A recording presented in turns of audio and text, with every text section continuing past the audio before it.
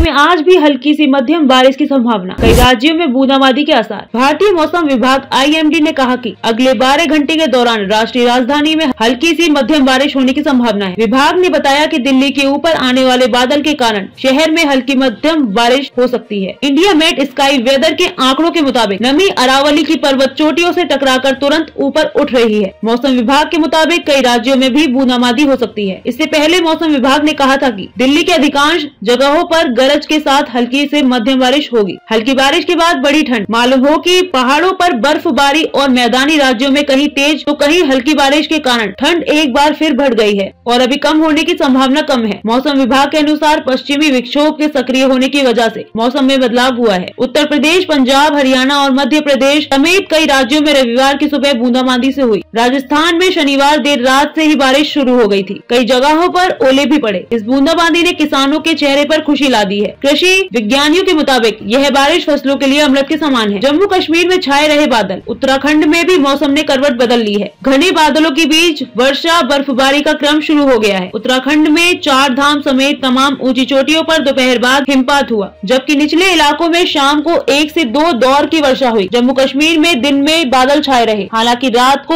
उच्च पहाड़ी क्षेत्रों में, हिमपात व मैदानी क्षेत्रों में वर्षा शुरू हो गई। लद्दाख के कारगिल ज़िले के तांगोड़ में हिमस्खलन की चपेट में आई दो लड़कियों की बर्फ़ में दबने से मौत हो गई। दिल्ली के कई इलाकों में बारिश की चेतावनी। मौसम विभाग ने अपने पूर्वानुमान में बताया था कि दिल्ली के कुंज हौज खास मालवीय नगर, कालकाजी सहित कई हिस्सों में हल्की बारिश होगी। विभाग ने रविवार को कहा कि हरियाणा के विभानी उत्तर प्रदेश के किठौर गढ़ मुक्तेश्वर हापुड़ और गुलावती में भी हल्की बारिश होने की संभावना है।